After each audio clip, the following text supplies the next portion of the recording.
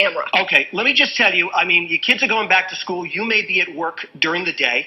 And you know, let's be let's be honest. You know, kids come home from school and they're hanging around. You want to know if they're actually doing their homework, actually doing what they want, and there's not like some sort of rave party going What? on in No. the house. You set this this thing up here. It works on the phone. And let me tell you, you know, a lot of people who are watching are going, "All right, I'm not that technically inclined. Is it easy to set up? If you can plug something in." Punch in your Wi-Fi code because you do mm-hmm. need Wi-Fi to do that. Download an app on your phone. That's basically it. And a lot of the video you, you see sometimes is grainy. You know, like Yeah, you see some of these cameras. definitely. This video is crystal clear. Now we. I shot some stuff at home, and it will also save on a cloud that you have. It and I got a really tell you, clear picture. You're the right. picture is completely clear.